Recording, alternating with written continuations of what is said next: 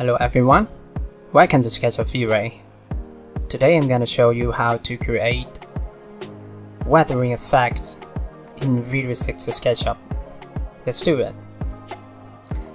Here we have a hammock scene.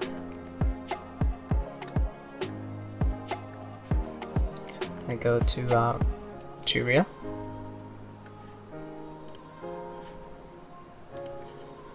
Now, right click, wrap in, mix operator,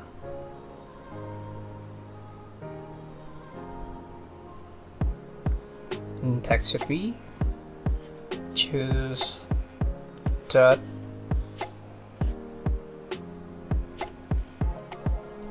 operator change it to multiply,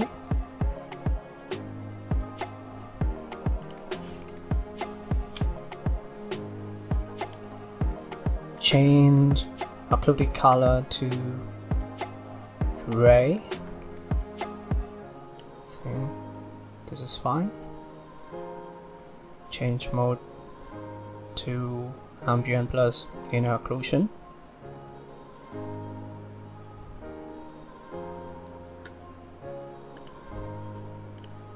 Add switch back to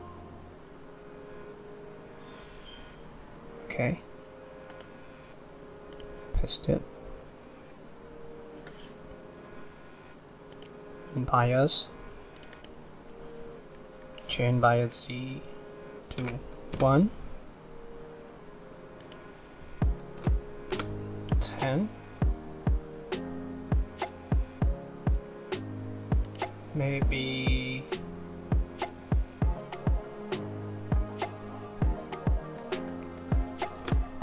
One hundred. Okay, let's switch it back to black to see more clearly. Increase radius to maybe five. Fall off to one. Distribution to 10 enable streaks ambient enable streaks inner. Increase streak size to 100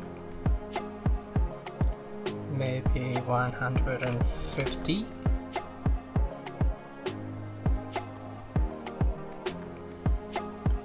now switch back to uh, gray color.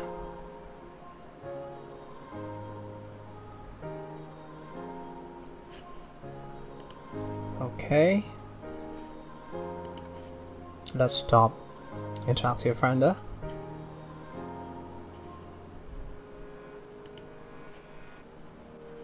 Now, production render. Okay, now let's compare them.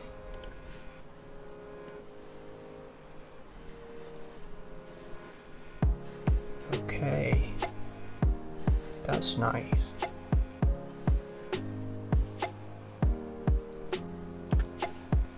So that's it.